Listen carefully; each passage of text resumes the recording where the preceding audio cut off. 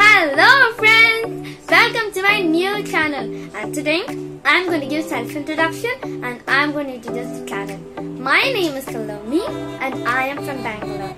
Okay, let me tell about the channel. Let me introduce the channel. There are so important days in a year which we fail to recognize. So I will be talking about the important days and brief you all with information, with the information which I know in this channel. Okay? So do you know that today as well as a special day? Yes, today June 14th, World Blood Donor Day. Okay, the World Blood Donor Day celebrated every year on June 14th. The World Blood Donor Day was established by the WHO in May 2005.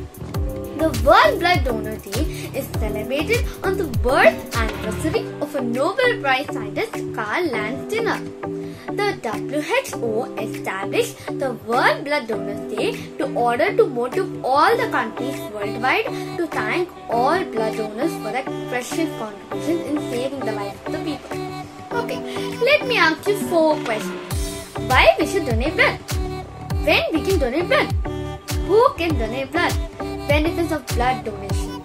The first is why we should donate blood. Why we should donate blood? Yes, there is a life in the blood.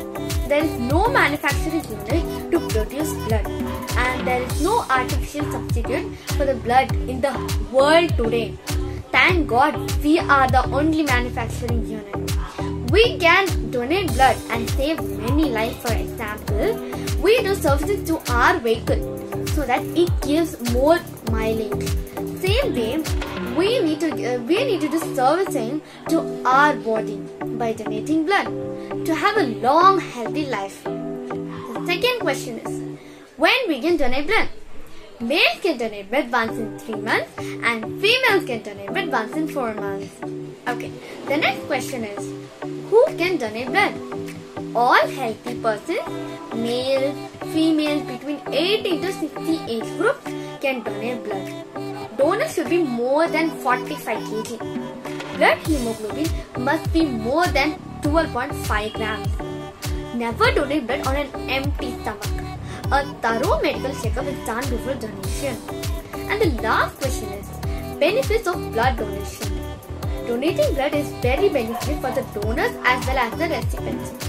It saves lives and helps people to overcome their critical situation.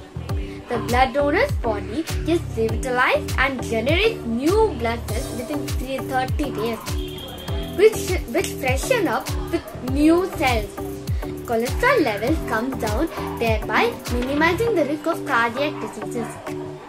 New blood production is stimulated as well as hormones are produced within 24 hours of donation. Fluid is replaced within 12 hours. Fresh blood is replenished within 1 month.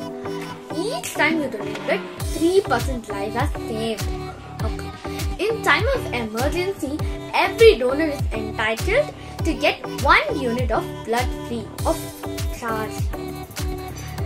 You don't have to be a doctor to save lives.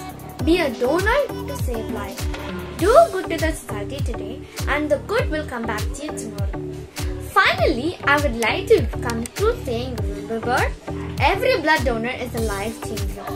Let's make a change in others' life When we have an opportunity now, happy blood donor day.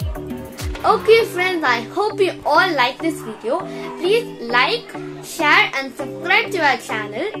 And I will meet you all in the next video and until then it's bye from Salomi.